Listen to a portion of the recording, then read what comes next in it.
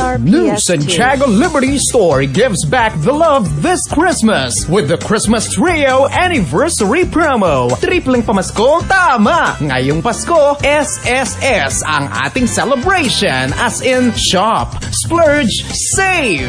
Simple lang. Shop! Shop at any New Santiago ARPS2. Liberty Store and get a raffle coupon for every 1,000 pesos purchase. May raffle coupon ka na, nakapagbigay ka pa ng piso para sa Buhay Ka Isabella Foundation. Splurge! Dahil Pasko naman, treat yourself. Mag-kitchen o appliance upgrade, Christmas preparation. At higit sa lahat, PRPS2. save! Guaranteed big discount, plus exciting freebies and Christmas giveaways. New Santiago Liberty Store Christmas Trio Anniversary Promo. Shop, splurge, save! Grand draw prizes. LG fully automatic washing machine, 42 inches, PRPS2. sharp smart TV. Everest split type air conditioner. Panasonic double door 9.4 cubic foot refrigerator. At mga pangmalakasang consolation prizes. Pasko sa buong mundo. Magdiwang tayo kasama ang New Santiago Liberty Store at